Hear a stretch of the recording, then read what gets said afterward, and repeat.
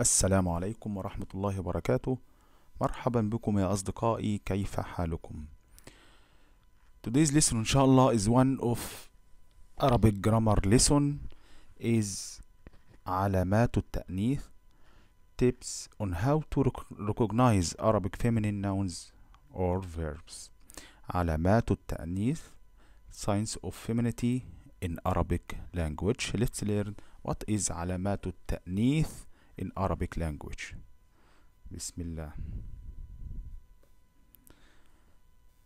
signs of femininity in nouns في الأسماء in nouns في الأسماء so the noun the, the noun uh, ends with تاء مربوطة تاء مربوطة like حقيبة it's bag this is, is تاء مربوطة so this is this noun is feminine حقيبة تاء مربوطة حقيبة like حقيبة means bag also uh, the nouns that end with ألف مقصورة for example أخرى it means other أخرى this is called ألف مقصورة so any noun end with this ألف مقصورة is feminine also ألف ممدودة like سماء see this ألف and after ألف is همزة uh, sky سماء so this is noun also is feminine so any noun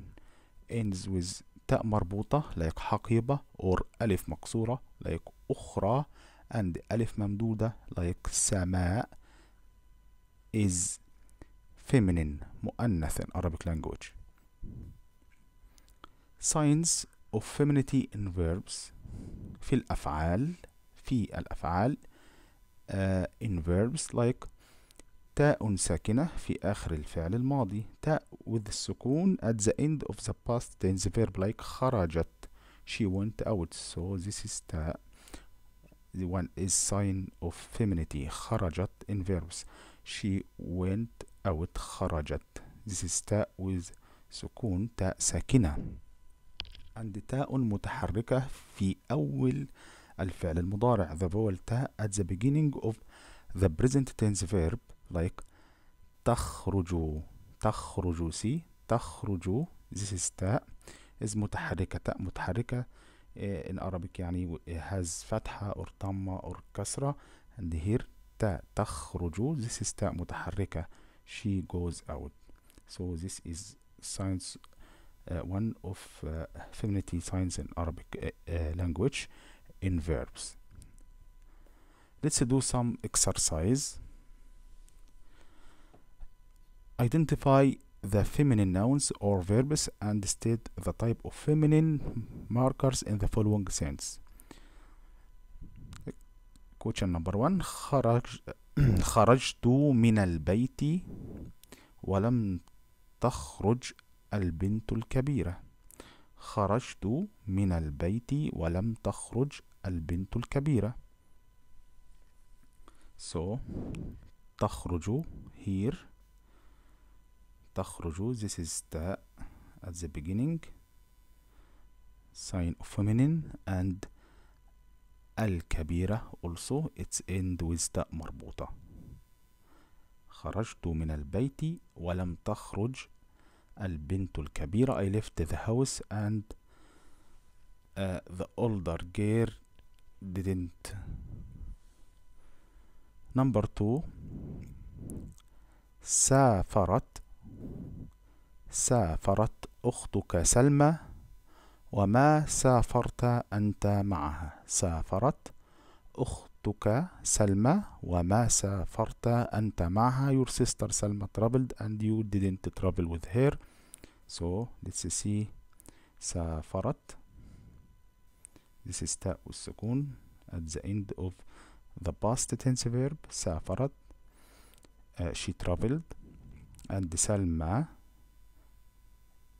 this is noun is feminine ends with ألف مقصورة سلمى number three سميرة تفكر سميرة تفكر في هذه المشكلة ولكن شقراء لا تفكر فيها سميرة تفكر في هذه المشكلة ولكن شقراء لا تفك لا تفكر فيها سميرة thinks about this problem but شقراء doesn't think about it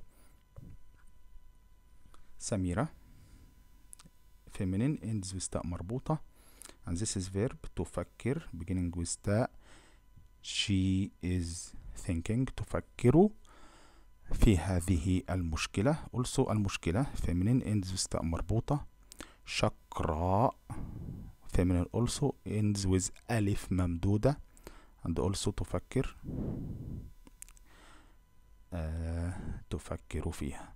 سميرة وتفكر والمشكلة شقراء تفكر all these uh, words contains signs of feminine التاء المربوطة والألف الممدودة and the and التاء المتحركة at the beginning of the present tense verb. تفكر هي تفكر. She is thinking.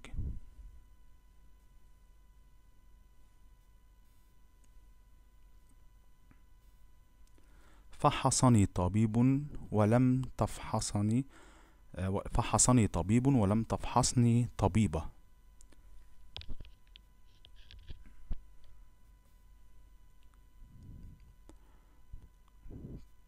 تفحصني التاء at the beginning of the verb and طبيبة تاء مربوطة. Is feminine a doctor examined me but no female doctor examined me. Number 5 اشترت خديجة ملابس حمراء وصفراء وخضراء وبيضاء وسوداء وزرقاء. اشترت خديجة ملابس حمراء وصفراء وخضراء وبيضاء وسوداء وزرقاء. خديجة bought red, yellow, green, white, black and blue clothes. اشترت. This is تاء ساكنة. عند خديجة. انزل تاء مربوطة. حمراء. Yeah, this is ألف ممدودة. ألف التأنيث الممدودة. Also صفراء سيم وخضراء. وبيضاء. وسوداء. وزرقاء.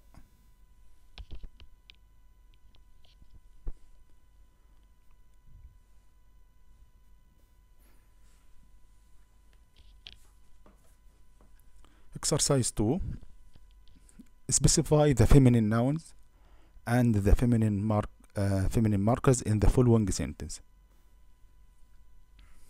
For example حصل أحمد على الجائزة so الجائزة هي الاسم المؤنث here is is الجائزة عند علامة التأنيث is التاء المربوطة الجائزة uh, number one لم أعرف مثل هذه السعادة. I have never known such a happiness. لم أعرف مثل هذه السعادة. ال, uh, الاسم المؤنث here is السعادة. And علامة التأنيث is التاء المربوطة.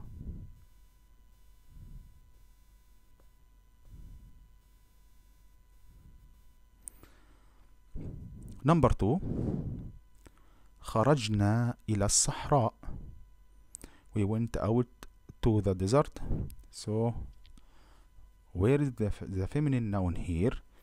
The feminine noun here is الصحراء الصحراء and uh, الصحراء ends with ألف التأنيث الممدودة yes this is ألف التأنيث الممدودة الصحراء. Number 3 ذهبت ليلى إلى المدرسة. So ليلى ليلى went to school. So ليلى is feminine. ليلى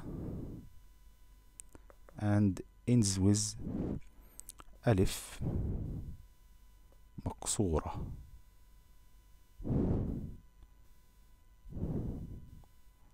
ليلى ذهبت ليلى إلى المدرسة and also المدرسة is feminine because ends with the مربوطة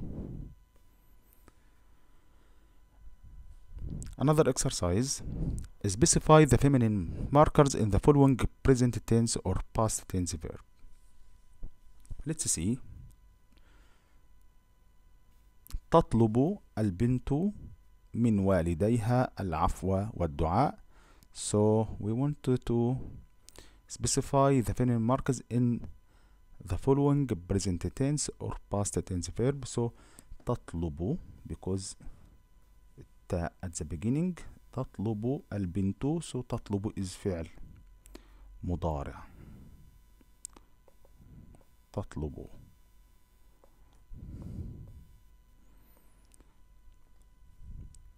نمبر 2 تعطي الأم ابنتها كتبا The mother gives her daughter books تعطي الأم ابنتها كتبا So the verb here is تعطي because beginning with تاء تعطي الأم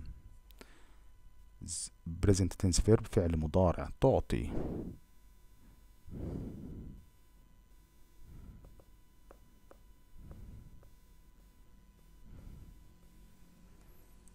نمبر 3 درست مريم الإسلام باللغة الأردية. مريم studied Islam in Urdu. So where is the verb here? Is درست. Is end with تاء ساكنة تاء التأنيث الساكنة درست. And this is فعل ماضي. درست.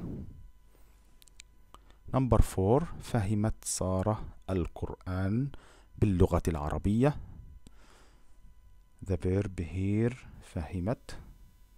سارة understood the Quran in Arabic فهمت. So فهمت is فعل ماضي or فعل مضارع فهمت is فعل ماضي فهمت. فهمت. سارة understood the Quran in Arabic language. Thank you for watching till the next video like subscribe and share my Arabic journey with Muhammad والسلام عليكم ورحمة الله وبركاته إلى اللقاء يا أصدقاء مع السلامة